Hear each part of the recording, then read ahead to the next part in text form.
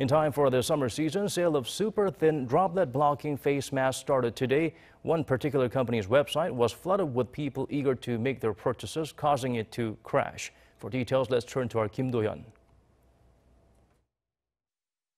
Due to high demand, a South Korean website selling super thin masks has crashed on its first day of sales.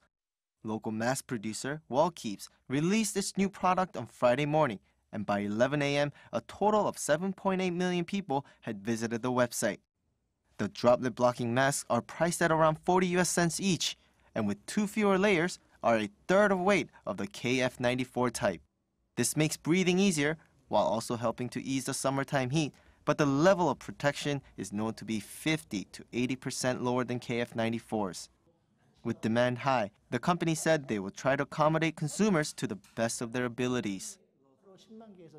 We plan to manufacture 100 to 200,000 daily, while analyzing the response from consumers and diversifying retail routes. The company set a limit of 30 masks per person per day to prevent stockpiling.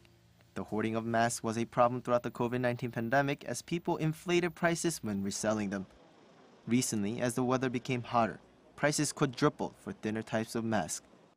In response, the Ministry of Food and Drug Safety approved nine thinner types of masks for sale from four different companies.